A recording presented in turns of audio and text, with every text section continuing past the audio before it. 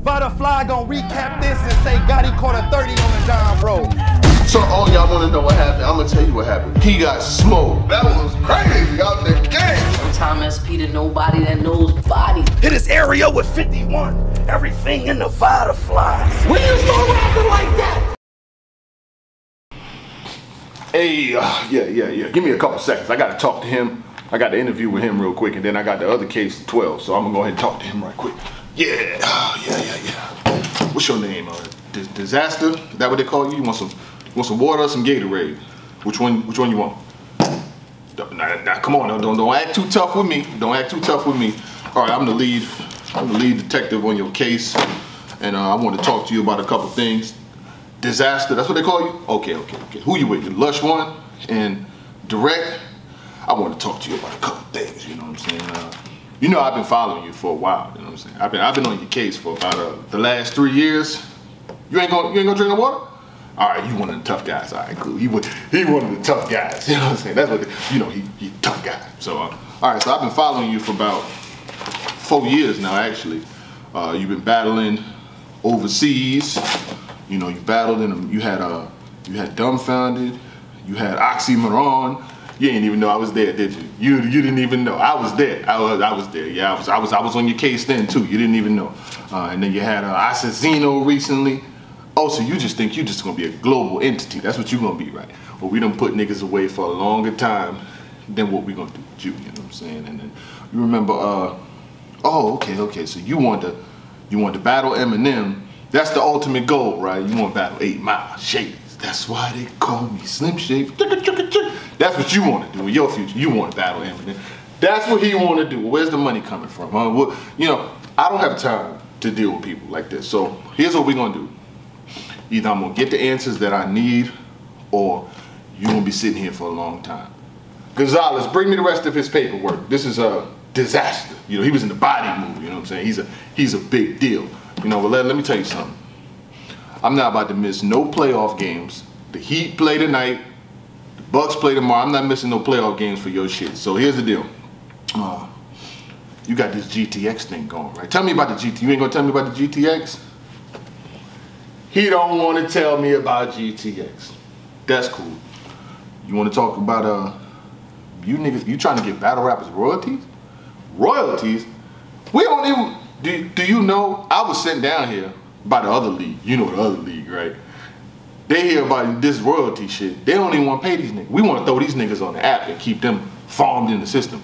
You trying to give them royalties? Royalties? Royalties for what? We don't have to. You want to pay these niggas?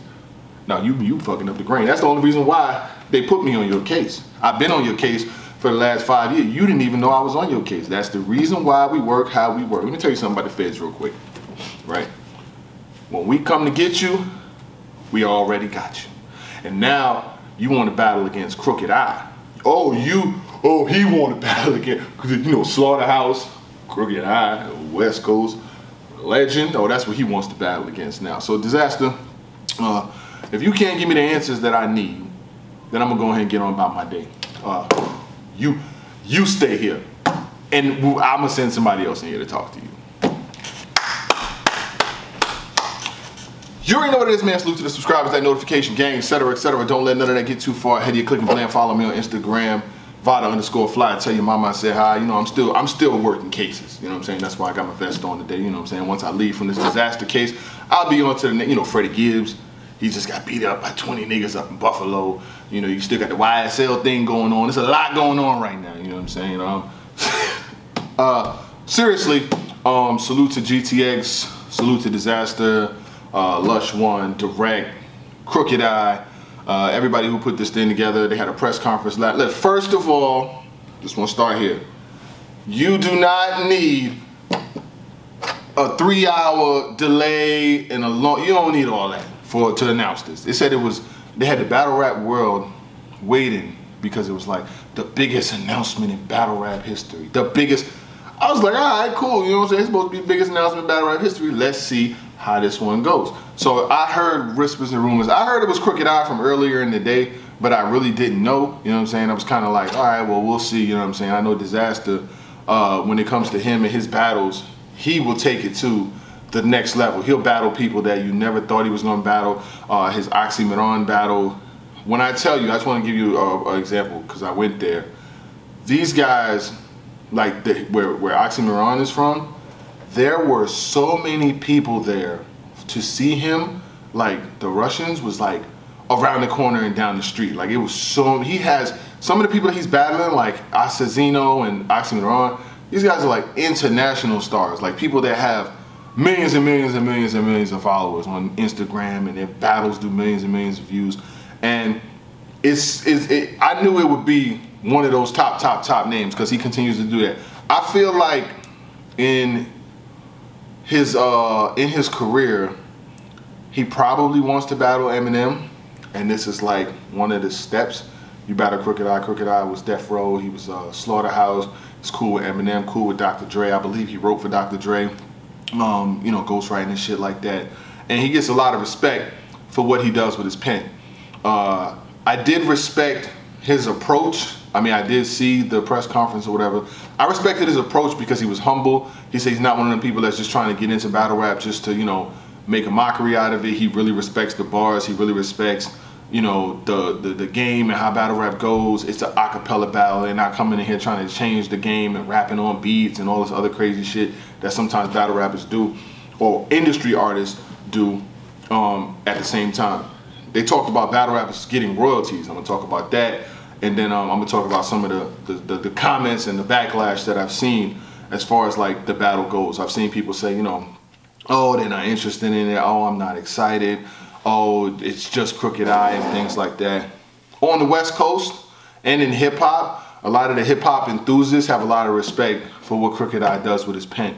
It might not be your cup of tea as far as like what he does is lyrically or his music style, but you can't take nothing away from what he's done and what he's been able to accomplish. He's very dope as far as uh, lyricism goes. Him, Royce, Crooked I, Joe Budden, Joel Ortiz, that collective of MCs was definitely a dope and they had a definite time frame in music and now he's crossing over into the battle rapping. You y'all niggas hold on, hold on, hold on.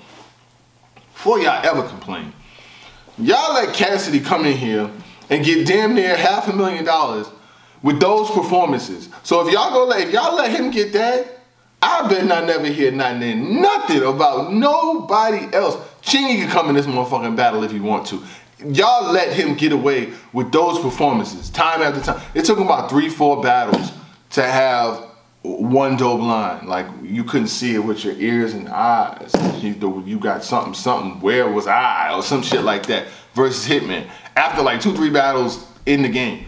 And this battled Cassidy before. I mean, it wasn't a great battle. This battled um, Dumbfoundead. This battled Aczino. This battled Oxxxymiron. If anybody who's gonna battle a big name in battle rap is probably gonna be Dizaster. And the reason why is because Dizaster has international appeal. When he battled against the Oxxxymirons and these big names, he's helping, he's building his fan base in different places. So when his material releases, people remember seeing him and seeing his battles and they'll watch him again. Um, I do have a lot of respect for what he's able to do and what he has accomplished in his career. Um, I will say this, when it comes to battle rappers and royalties, I think that's a pretty dope thing because you never hear of any battlers or anyone getting substantial revenue after the battle is done. These guys are like contractors. This is the reason why you see so many artists like, I'm not dealing with no contract, I'm a battle wherever I want because there's no residual income. You, let's say your ticket is 5,000, right? 5,000 is a top tier battle rapper. Like you getting five grand a battle, you you you you're either up there already or you're heading there. Like guys like Easy and T Top and Chess and all of those guys, they're above five. You know what I'm saying? Like they're making good money. But once you're below that, let's say your tag your ticket is two thousand or twenty five. Let's say your ticket is two thousand. You get a thousand up front, you get a thousand on the back end. That's not no money. When you get that first thousand, you're gonna spend that. That money, that gone. Know, motherfucker got kids, got girl, got light, got car note. You know, motherfucker car note. You know, motherfucker, you want to go out there and get a goddamn used BMW, or he want to go out there and get a, a old Range Rover. He don't get no car that everybody else drive, motherfucking Honda, or he don't get no car like that. He don't get no Camry. He don't get no car like that. He want to go out there and fake it till you make. it. He want to be one of them guys. Oh, you want to drive uh, a, a, a, damn Audi or some shit like that. So you know, his car no expensive as hell. His car no about six hundred. So by the time he get that thousand dollar deposit, he got to drop five hundred. He got to get a oil change and all that shit. So by the time he get to the motherfucking battle, he ain't got nothing but the other side. So when he get that other thousand dollars, guess what the rent do? Oh man, Trey Trey gotta go daycare. He got paid daycare. So now these niggas ain't getting no money. You know what I'm saying? So now they got to battle every week. Y'all be wondering why didn't they got to battle every week? Why is he on every event? Why he battling two times a week? Cause mother ain't got no money. So when you put battlers in position to where they could get residual income, I'm all about that. I'm all for ownership. I'm all for you know look at this, my own channel. I can say what the fuck I want. Fuck you, fuck him, fuck them, fuck them, fuck, fuck, fuck, fuck, fuck. It's my channel. I can say what I want. You know what I'm saying? But when you own the content, you own the direction, you own everything that happens with it. When you put on work for someone else, you know, you have to go by their discretion. It gets released when they want to, you know what I'm saying? Like, and when you're in a position to get royalties from it, I think that's a dope thing. Because even if you're getting a couple hundred every other month, or you know what I'm saying, maybe you might even trip across a thousand if you had a couple millions in your battle views. Um, I think that's a good thing. Um, as far as overall, it's cool. I'm gonna watch it. I don't dislike it. You know what I'm saying? I've seen other names get booked on other cards that we've really had an uproar for. Crooked I is definitely a respected name in hip hop. He is respected. There's no way. I would say this. The other people that Diz battled against besides Cass, like the Oxxxymirons and um, and the even Cass, Oxxxymiron, Cassidy, and Aczino, they all have bigger fan bases. And I think Crooked I may have a bigger fan base than Cassidy. I don't know. It's kind of they kind of even themselves out. But internationally, Oxxxymiron and Aczino have bigger fan bases.